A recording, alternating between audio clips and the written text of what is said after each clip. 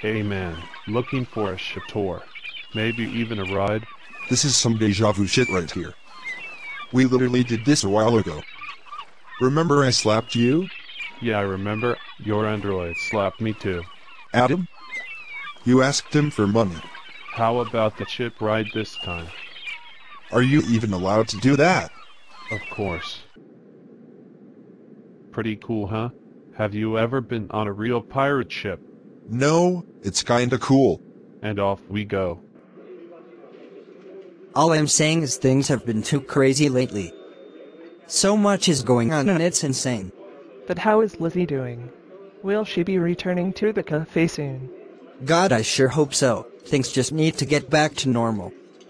I mean, first the killer of Ryan Corbin, then some crazy lady who attacks Lizzie and puts her in a hospital bed, and there's so much more. Remember, things get worse before they get better. Keep your head up, Farley. You'll make it. You idiot. You let the ship go? We're stranded on this island with no cell phone and no way of getting out of here. Well, at least out here we don't have to deal with our everyday problems.